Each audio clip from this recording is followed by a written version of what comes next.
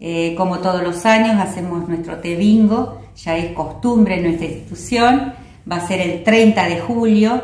Las tarjetas a partir del lunes ya van a estar a la venta, así que la que quiera ir acercándose a retirarla ya puede hacerlo. Eh, el valor de la tarjeta es 500 pesos, siempre viene con un bingo, este, el primero que es gratis, ¿no es cierto?, para arrancar y ponernos en clima. Este, y un numerito también pegado que bueno, hay siempre sorteos, sorpresas y demás.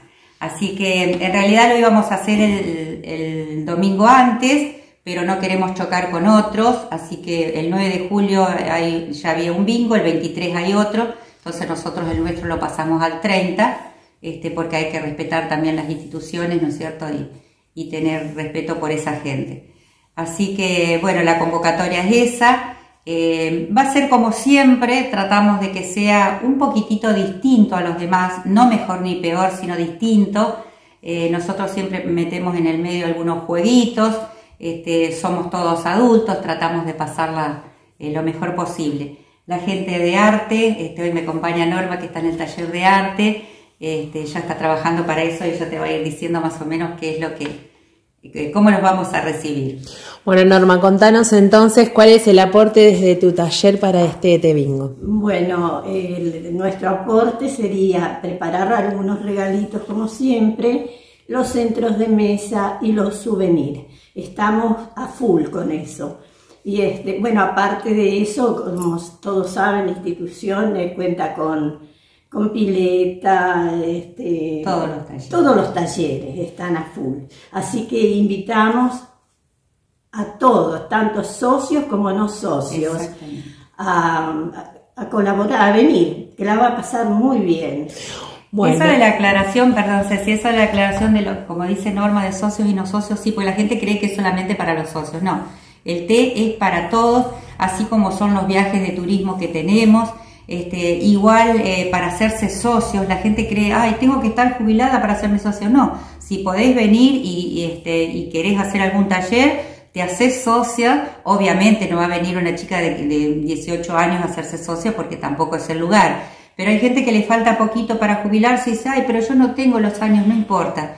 Eh, lo importante es acercarse a la institución este, y bueno, y, y disfrutar de los talleres, ¿no es cierto? Como decía Norma recién, este, arte, memoria, eh, tenemos el taller de yoga, el taller de gimnasia y el taller de pileta en el set. Así que estamos bastante, bastante bien con ese, en ese aspecto. Interrumpo, y el, de, teléfono. y ahora estamos... Incorporamos el taller de, teléfono. De celular. De celular. Sí, eh, eso nos estaban pidiendo, la gente le cuesta, nos cuesta mucho, me voy a incluir, nos cuesta mucho manejar los celulares, hoy en día la tecnología nos fue invadiendo, así que tenemos, este, sí, un curso de celulares eh, que vengan a preguntar, hay dos horarios, de, los martes de 14 a 15 y de 15 a 16, los jueves de, 15, de 14 a 15 y los viernes de 15 a 16. Que se acerquen al centro, pregunten el horario eh, y es un curso muy lindo. Vos sabés que hay cosas fundamentales que la gente no sabe hacer poner una alarma, poner un recordatorio en su teléfono, mandar un WhatsApp, a veces digo yo que es lo que más necesitamos los adultos para pedir un turno y demás, este, les está costando todo eso. Así que largamos un curso de celular y también estamos muy contentos, la verdad que es muy bien. Esther, nombraste taller de yoga y sé que tuvieron, recibieron un aporte importante que sirve mucho para esta actividad.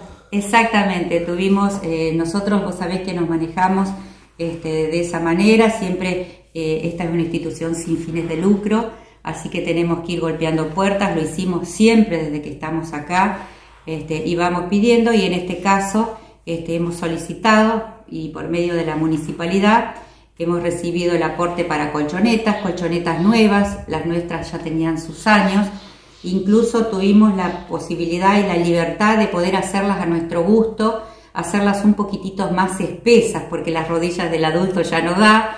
Entonces, este, Juanjo, por medio de la municipalidad, obviamente, y siempre colaborando con nosotros este, en ese sentido y visitándonos, eh, nos dijo, ustedes este, háganla de acuerdo a lo que necesitan. Así que las hicimos un poquitito más espesas este, para que las rodillas soporten. Y sí, un agradecimiento enorme a la municipalidad, este, porque sin ellos nosotros Eh, los aportes de todos sirven, senadores, diputados, el que venga y quiera colaborar está bienvenido. Y con la municipalidad es lógico porque, ¿no es cierto?, es este, justamente el que estamos todos los días, ¿no es cierto?, y vivimos en la misma ciudad.